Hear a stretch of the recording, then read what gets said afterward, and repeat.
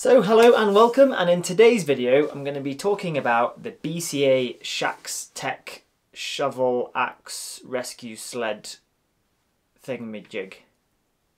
Sweet, let's get in.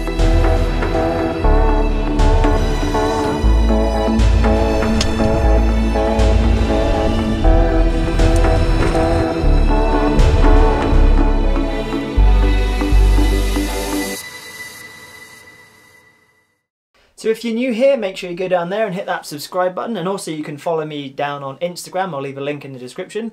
So last year I made a video about what I carry in my ski mountaineering bag. And one of the items that I spoke about was this, the Shaxe Tech. I wanted to just offer a little bit more insight into this this system and why I like it and some things that I don't like about it and other considerations that you need to have if you're going to be adopting this system for your backcountry ski adventures. So first things first, let's talk about this thing as a shovel. Now the handle is pretty good, it's fairly er-, ergonomic. What I would say is that not having an extendable um, shaft makes digging a little bit more difficult, but it, it isn't too bad. It's definitely on the longer side of a, of a shovel handle, so it does work pretty well for extended periods of digging. I've added this little bit of uh, amalgamating tape onto the shaft of the axe. You can pick this stuff up in a DIY shop or places like that and it just adds a little bit of extra grip to the shaft. If you want I'll leave a link down in the description so you can see exactly what that kind of stuff is but basically it's just a rubber tape that's, that sticks to itself. So the blade of the shovel is pretty good, it's a good size, it fits in the bag really well, it's solidly made uh, it's got holes here that you can use to make a rescue sled and also these two slots in here are for making a dead man anchor. I can't say I've ever done that or ever felt the need to do that but it is a nice thing to have and some people might find that useful. So the shaft of the ice axe handle thing fits in here like this and there's a little toggly tab thing that you have to pull up and it slots in and it's pretty solid in there it's not yeah it's definitely not going anywhere it wouldn't come out accidentally whilst you're digging and cause you a few extra seconds of of uh, trouble.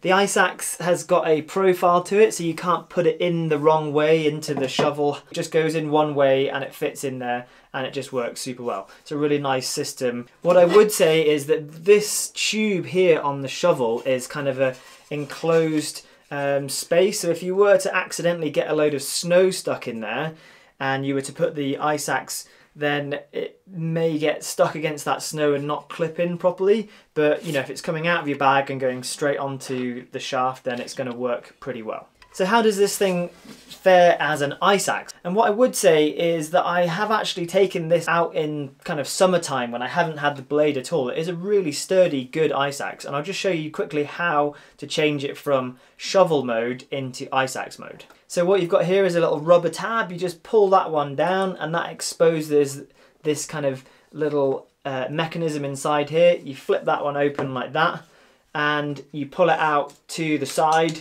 it's pretty easy like that. And there's a little tab that stops it from falling out. So uh, that works really well. And then you can just pull out the shovel handle like that. You can put in the ice axe head like this, pop that back in there, close that up. It's a little bit fiddly to push the rubber thing over, um, but it's not too bad. It does stay there does stay there when you want it to. And there you go you're ready to do your ice axing kind of stuff. The pick itself is stainless steel it's really good. I've hit this off a few rocks it's got a few little dings on the on the front of it there. But actually it works really well it's got good grip. It's the right profile for, for ice axe arrest so it's it's much better as an alpine tool for you know using as a walking stick rather than using as a technical climbing tool. But it still does climb little steps of ice pretty well the adze is pretty good. You could cut good steps or cut bollards in the ice or whatever you need to do with the adze.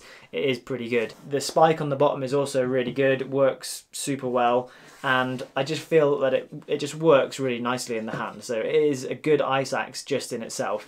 And the connection between the shaft and the and the pick is, is actually pretty solid. It's it feels really solid. I've, I've never had it accidentally pop out or you know any of those types of things. Now what I typically do is I leave the shovel handle kind of set up as a shovel handle and I keep the pick and I only just put the pick in when I need to. So that way the shovel's always ready to go um, in a you know ski touring or ski mountaineering, and I just put the put the pick in, get ready to go for for climbing up. The the exception to that might be if I'm I don't know walking out of the Aiguille du Midi uh, in the morning and I need an ice axe in my hand. In a pinch, you could definitely use this um, as the handle for for the shovel, but it's not ideal. The, the ergonomics aren't that great, so it's definitely worth packing that uh, shovel handle with you. And in terms of losing it, I've I've lost one ice axe in maybe 15 years of alpine climbing and ski touring and backcountry skiing. And what I would say is at that time when I lost my ice axe, it was way more of a concern that I lost my ice axe than it was that I lost the, you know, what could potentially be the shovel handle. Um, so you know, you need to be well practiced in handling an ice axe before you adopt this system. And, you know, if you're not sure, then just go with an ice axe and a shovel. It's also marketed as having a rescue sled, so it comes in a little bag here and it has little instructions. I've had a play around with this and there's a few little things that you have to consider if you are thinking that you ever might need this.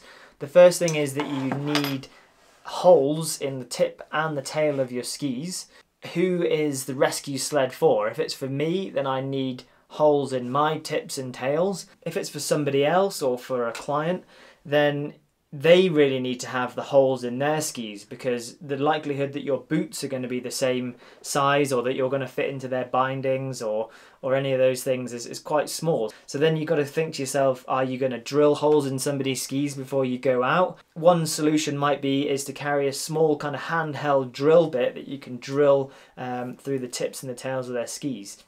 So generally I really like this piece of kit. I think it fits in really well with a lot of what I do. If I was going out somewhere where it's predominantly um, skiing and I wouldn't need an ice axe, I probably wouldn't bring this. There are better shovels out there. And again, if I'm going to be doing any real technical climbing, then this ice axe isn't going to be enough. But there's this kind of middle ground between it being not too technical and you know you needing an ice axe for that tour, where something like this is going to be really useful. But it does cut down those extra few grams for those people who are trying to get that weight down a little bit more in their bags while still having good usable tools that you can you know bring out in an emergency or you know when you're moving along a ridge or up a couloir or something like that and uh, what i would say is it often means that i have an ice axe when i wouldn't normally have an ice axe and it sometimes means that uh, even in the summer I can carry the shovel blade and I have a shovel where I wouldn't normally be carrying a full shovel and an ice axe.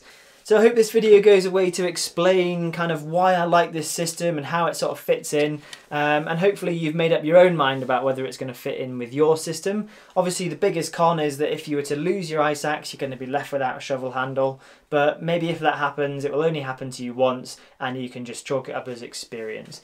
If you like that video make sure you give it a thumbs up that's the biggest thing that you can do to help my channel and also I will see you in the next one.